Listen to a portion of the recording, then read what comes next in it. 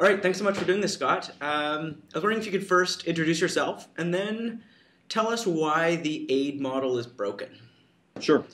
Um, my name is Scott Gilmore. I'm the uh, founder and CEO of Peace Dividend Trust, which is a social enterprise that connects local entrepreneurs to international supply chains. Um, before that, I was a diplomat for the Canadian government uh, overseas in places like Afghanistan and Timor, um, which is, gets right to the question of why it is broken. When I was in that role as a diplomat, I saw that we were spending millions, hundreds of millions, actually $2 trillion since the 1950s as an entire aid community, and achieving very little on the ground for our efforts. And that the progress that you did see on the ground was coming not from aid programs, but from natural economic growth that was being driven by local entrepreneurs. And the reason this is is that we've set up some negative feedback cycles in the in the aid industry over the years. Um, we have been funding aid programs with government money that has required uh, extensive reporting to make sure that the money is being spent in a, in a responsible fashion and which doesn't emphasize the impact of the money. And so the organizations that have been spending the money have increasingly become much better at reporting and have set aside the impact issues. And so generation after generation, we've ended up with aid implementing agencies that are fantastic at writing CIDA reports, but lousy at actually creating jobs. Um, and this has been widely recognized, not just in, in, Canada, but elsewhere. And so we're beginning to see a shift away from planning for aid to using entrepreneurs to create growth. And how, how do entrepreneurs cut through those institutional barriers?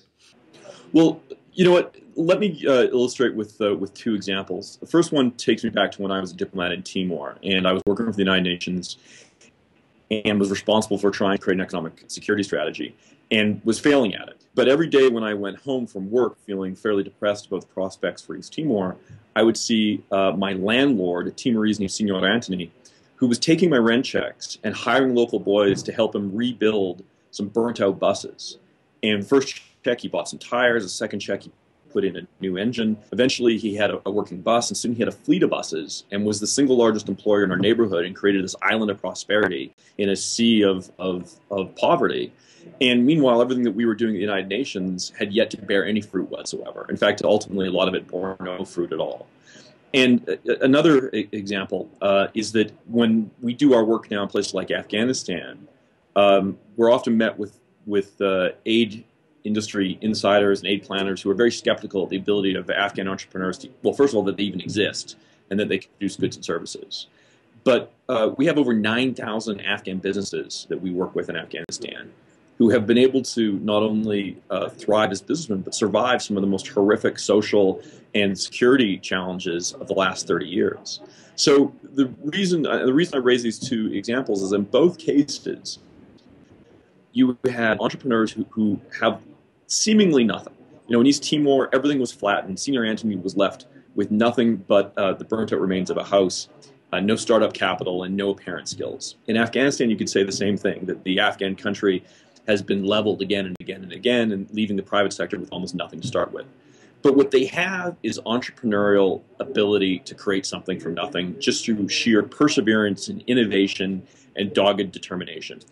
And um, it's that what creates jobs. It's not aid planners. It's not uh, new strategies to leverage stakeholder uh, interventions in the sectors that support market development. That's all BS. What creates jobs is a local entrepreneur who's trying to come up with a better way to bring some money, uh, some food home for his family. That's a model for, for job growth.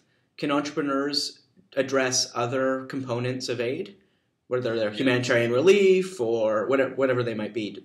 Well, there's there's a limit, right? I would say that they can they can address a lot more than we realize. For example, I argue that job growth is at the base of everything. You know, once uh, you have a job, you can start feeding your family better, raise nutritional levels. You can afford a doctor for your wife when she goes into labor. After the child is born, you can ensure it gets medical, uh, regular medical attention, that it gets its its uh, its polio vaccinations, and that that child goes to school and once it become the child becomes educated, they then take on aspirations of greater independence and success and, and, and good governance. The other things the private sector development does through entrepreneurs is they begin to increasingly demand responsible government. Um, when they recognize that the local government is hindering their ability to do what they do, they start demanding transparency, and they start uh, pushing for anti-corruption efforts. And in many cases, you're seeing, like in Afghanistan, the private sector is coming together and trying to push for actual peace and stability because they recognize that you know they can't prosper unless the, the warring parties come together. But there are limitations. Uh, for example, humanitarian assistance. When you take a look at uh, what happened in, in, in, Haiti, for example, um, the private sector could not respond to that uh, in, in short order.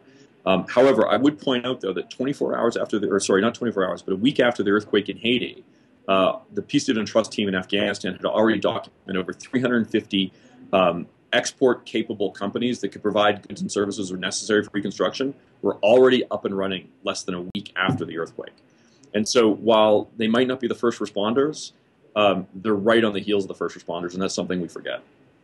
What should we do then with the big state aid institutions like CIDA and DFID and USAID? Do they do they play a role in this, or do they disappear? Well, um, they're always going to play a role, uh, I think, to a certain extent. But the question is, is what role? For example, let's take a look at aid policy. If you take a look at all the great conceptual innovations that have occurred in aid over the last 20 years, whether it was on microfinance or crowdsourcing information like Ushahidi has so successfully done in, Afghan- in Africa, none of these ever came from the bowels of an aid agency uh, bureaucracy. They came from the outside. And so I think that there's there's huge chunks of the policy uh, work that these agencies do that is not only redundant, it's it's useless, and they, they should be gotten rid of. Um, but there are things that um, that uh, aid can be very successful at. So, to give you an example, the Canadian Finance Ministry, which you wouldn't consider to be an aid agency, recently contributed twenty million dollars as an X Prize to come up for come up with new ideas, innovative ideas on how to uh, provide finance to small and medium sized businesses in the developing world. So they put this money on the table and they invited the entire world of NGOs and, and finance companies to say, we want a brand new idea that's going to change the lives of the, some of the poorest people in the world, and the winner gets this money.